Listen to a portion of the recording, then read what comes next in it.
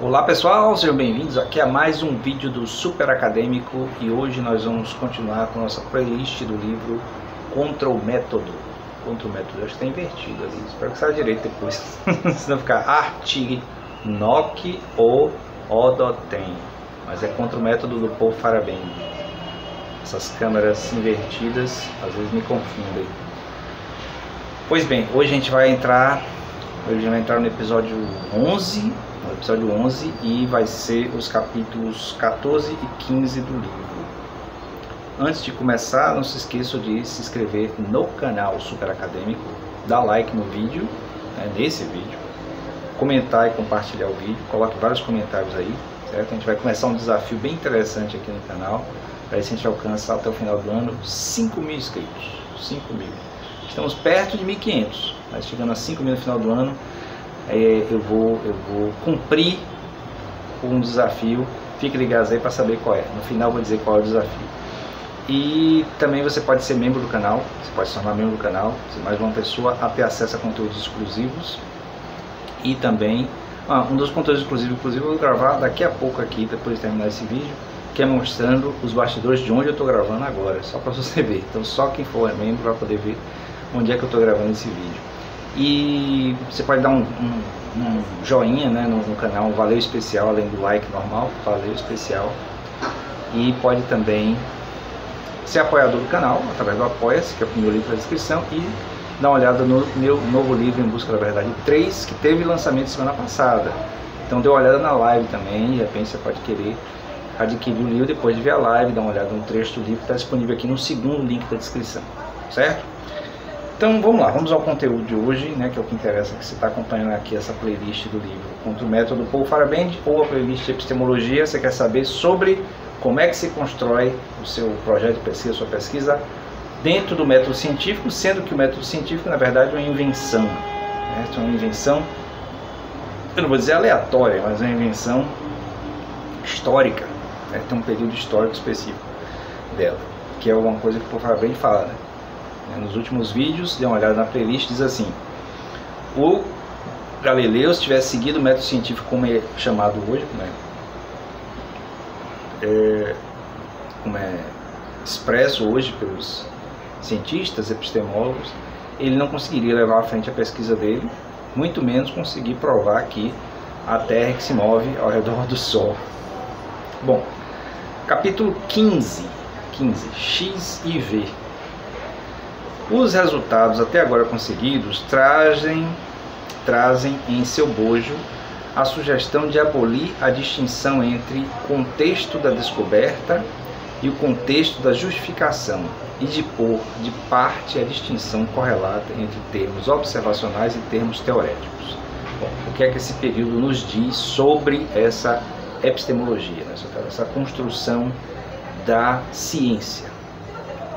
há uma separação que deve ser feita entre aquilo que é, é descoberto, chama de contexto de descoberta, contexto que foi descoberto mesmo, foi visto, foi verificado, e o contexto da justificação, que aí já é o contexto da argumentação de quem descobriu. Certo? Então você pode ter duas pessoas, né, dois cientistas, pensando, observando o mesmo objeto e a argumentação de um não consegue convencer quase ninguém, enquanto que a outra consegue fazer uma grande transformação na ciência, mas ambos descobriram a mesma coisa. Por que isso acontece? Certo? Isso é uma das coisas que o, o Paul Farabend coloca, né, que o Ino Lakatos responderia, se fosse o caso, mas ele concordaria que haveria uma relação entre é, a constituição do, da construção teórica. Por isso que ele colocou aqui, né? Termos teoréticos, né? É uma distinção correlata entre termos observacionais e termos teoréticos. O que você observa não é necessariamente exato, preciso com aquilo que você teoriza. Certo? Então você pode teorizar de maneiras distintas sobre o mesmo evento, né? o mesmo evento físico, social, que seja. Nenhuma dessas distinções tem papel a desempenhar na prática científica. Quer dizer, a prática científica ela é limitadora. Então, esse esforço do contexto da descoberta com os termos observacionais e o contexto da justificação com os termos teoréticos avançam muito mais do que a própria ciência permite. É o que ele está dizendo aqui no segundo período. Então, nenhuma dessas distinções tem papel de desempenhar na prática científica. Porque a prática científica, ela pretende, ela tem a intenção de ser é, uma expressão da verdade da natureza. Certo? É por isso que a epistemologia, que é um, digamos assim, uma área da filosofia que busca entender, ou tenta entender, pelo menos os epistemólogos, busca entender aquilo que é construído como uma elaboração, né, como formulação, como argumentação, a partir da sua possibilidade interna de ser verdadeiro. Por isso que é uma coisa eminentemente lógica. Certo? Então você tem a possibilidade de ser verdadeiro até o momento que se comprove ser falso. Então o Karl Popper é que fala isso, né? Você não tem que ficar tentando provar que uma teoria, que uma, uma proposição, né? que é uma afirmação, é verdadeira. Você tem que tentar provar que ela é falsa. À medida que você falha em provar que ela é falsa, ela se afirma como verdadeira. Mas aí vai depender do conjunto de elementos que você tem entre os fatos, né, os elementos observados e os elementos teoréticos. Então, às vezes, você tem, por exemplo, na, na física lá do, do Stephen Hawking, né, você tem um conjunto de cálculos matemáticos cuja possibilidade de existência factual né, vai depender de outras pessoas conseguirem evidenciar que aquele cálculo matemático é uma demonstração realmente, sei lá, da colisão das galáxias, da existência do buraco negro, da expansão do universo ou da contração do universo. Então, o cálculo matemático não é evidência empírica, mas é uma formulação teórica que até se prova estar errada, ela serve como é, como, como algo que sustenta a teoria que está sendo formulada sobre, no caso, a cosmologia do universo. A cosmologia do universo é até uma redundância, sobre a cosmologia. Tentativas de dar-lhes força trariam consequências desastrosas. Tentativas de dar-lhes força trariam consequências é, desastrosas. Dar-lhes forças a quem? Agora eu não entendi. ah, sim, essas distinções. Tá, tudo bem. Então ele está meio que terminando ah, o resumo do capítulo falando que se você pega e fica se esforçando ah, para dar força àquilo que é observado por aquilo que é formado teoricamente, você acaba tendo consequências desastrosas porque é, porque se torna uma crença, se torna um dogma.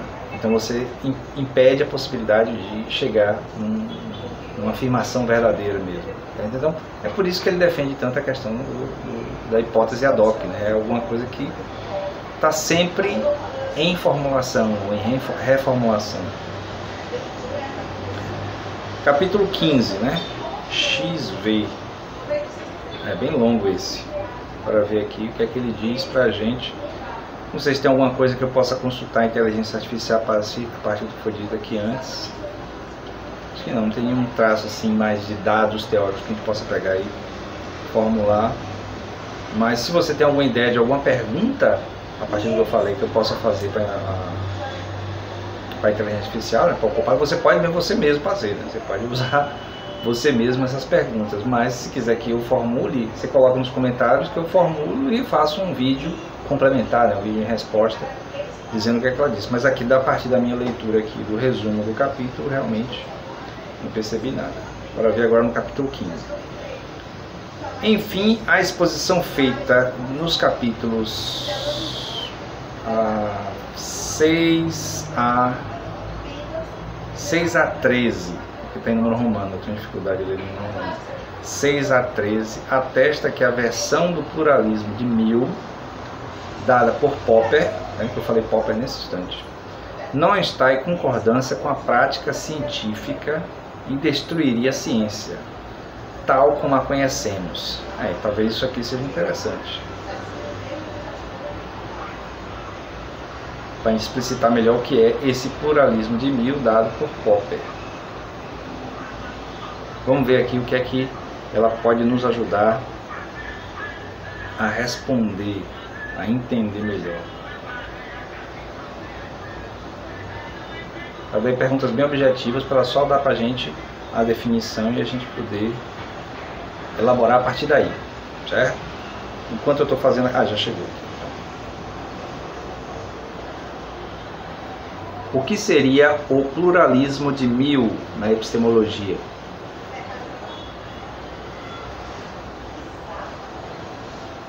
Eu acho que ela não entendeu. Dar parar aqui. Ela escreveu, quando eu falei mil, ela é, entendeu mil, mil, o número mil. O que seria o pluralismo de Stuart Mill da epistemologia? Agora foi.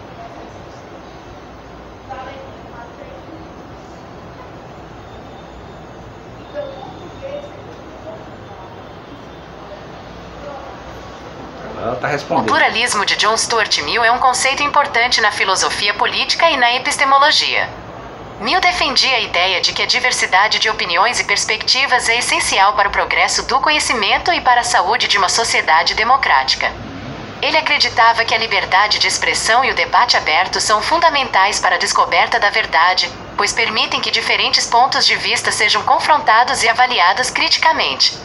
Mill argumentava que, mesmo que uma opinião seja considerada errada pela maioria, ela deve ser ouvida, pois pode conter uma parte da verdade que a opinião dominante não reconhece. Além disso, o confronto de ideias opostas ajuda a fortalecer a compreensão e a justificação das crenças verdadeiras, ao invés de aceitá-las passivamente. Em relação à tecnologia, o pluralismo de Mill pode ser aplicado à necessidade de promover a diversidade de vozes e perspectivas no desenvolvimento e na implementação de novas tecnologias. Isso inclui considerar os impactos sociais, éticos e culturais das inovações tecnológicas e garantir que diferentes grupos e interesses sejam representados no processo de tomada de decisão. Cielo Brasil, diversidade não é igual a pluralidade.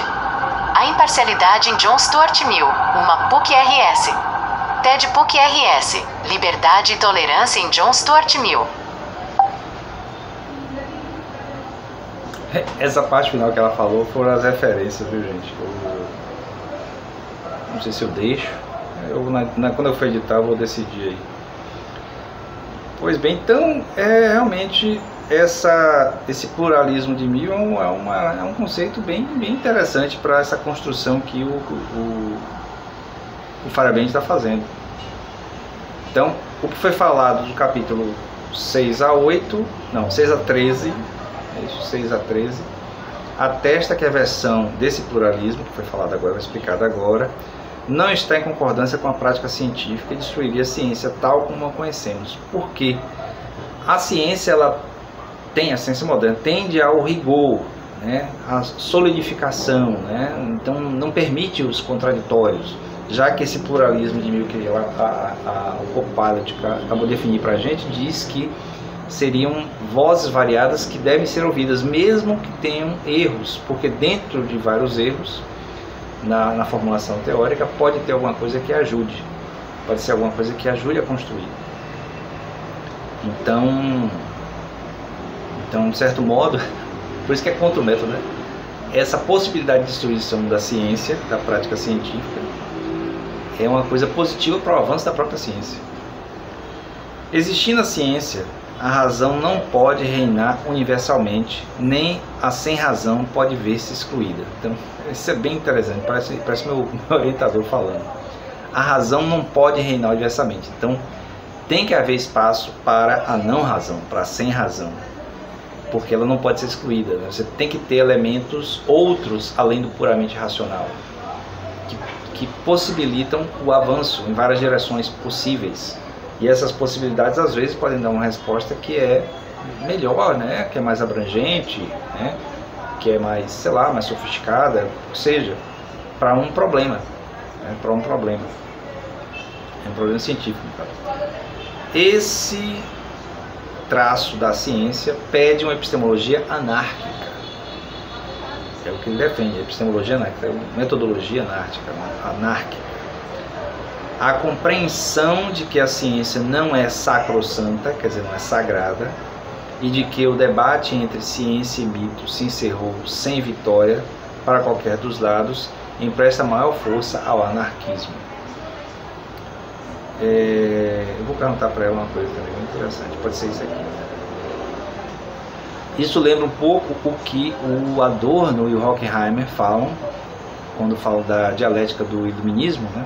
dizendo que, de certo modo, a narrativa mítica permanece dentro do discurso científico, do discurso racional da modernidade, justamente porque essa fixação por uma superação do mito, né, do, do que é místico, do que é não racional, acaba gerando formas de narrativa que tendem a ser não do mesmo tipo, mas reproduzem o mesmo tipo de efeito de crença. Isso é bem interessante, porque quando a gente pensa em é, as bases para a ciência moderna, mesmo as ciências duras, né, as ciências mais exatas, entre aspas, muitas vezes precisam rever sua maneira, né, um cientista no caso, rever sua maneira de enxergar essa, essa racionalidade, essa precisão, essa exatidão, esse rigor. Aqui eu vou, vou perguntar aqui para o Copilot sobre esse anarquismo epistemológico. O que seria o anarquismo epistemológico?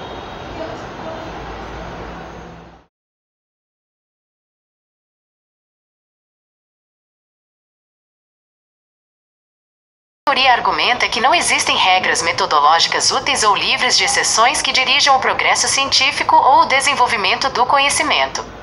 Feira bem criticava a ideia de que a ciência deve operar de acordo com regras fixas e universais, considerando essa abordagem irrealista e prejudicial. O termo anarquismo aqui deve ser entendido como oposição a um princípio único, absoluto e imutável de ordem, e não como oposição a toda e qualquer organização. Feira bem defendia um pluralismo metodológico, onde o método científico não possui o um monopólio da verdade ou dos resultados palpáveis. Ele acreditava que a ciência é apenas uma das muitas ideologias que impulsionam a sociedade e deveria ser tratada como tal. Resumo, o anarquismo epistemológico promove a liberdade de pensamento, a diversidade de perspectivas e autonomia no processo de produção do conhecimento. Wikipedia Anarquismo Epistemológico Palavranário Anarquismo Epistemológico É legal que ela dá as referências no final de onde é que ela tirou isso. Ela formula, mas a partir do que ela achou na internet. Né? Bom, é assim que funciona as chamadas inteligências artificiais. Que inteligência não tem quase nada, né? ela reproduz uma linguística fácil de ser absorvida a partir do conhecimento acumulado.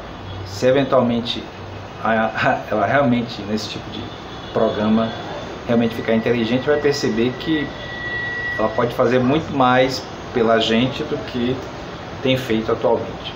Simplesmente ajudar nessas coisas ou bom, é, bom, vou ficando por aqui. Foi bem interessante a definição que ela deu, mas acho que reforçou muito essa visão. Eu achei curioso o jeito que ela menciona, o jeito que ela pronuncia Fairband, assim, Fairband, Fairband, Fairband, alguma coisa assim. Bom, eu vou ficando por aqui. Né? É, eu não esqueci não, vou dizer qual é o desafio. Mas primeiro, não esqueça de se inscrever no canal, dar like no vídeo, comentar, compartilhar, é, ser membro, seja membro do canal também, dê o like especial que é valeu, né? seja apoiador do canal no Apoia-se e dê uma olhada no meu novo livro Em Busca da Verdade 3. Certo? Meus outros livros também que estão lá no Clube de Autores. É só ir aí na descrição que tem todos os links. Então, o desafio. Então, o desafio para a gente chegar a 5 mil inscritos no final desse ano, de 2024. É, chegando lá, no final do ano, até o final do ano, é 31 de dezembro de 2024, se a gente chegar a 5 mil inscritos, eu vou fazer o chamado é, Desafio Michel Foucault. Certo? Eu vou raspar meu cabelo e ficar igual, pelo menos temporariamente, ao Michel Foucault na aparência. Eu já uso óculos, né? Óculos é, com aro com aro escuro e quadrado, então só vai faltar a careca. É claro, né? vai faltar também a inteligência dele, vai faltar a produção dele, a fama dele, os hábitos muito loucos também que ele tinha. Isso aí não vai ter nada, mas vai ter pelo menos esse, esse, esse corte de cabelo diferente. Mas só se a gente chegar a 5 mil inscritos. Então, se você quer ver isso, né, quer ver esse desafio Michel Foucault chegar, então vá lá, é, se inscreva no canal se não está inscrito e convide pessoas a se inscrever no canal. Coloque lá desafio Michel Foucault nos comentários para ver se você viu esse negócio do desafio. Certo? Até o próximo vídeo, valeu!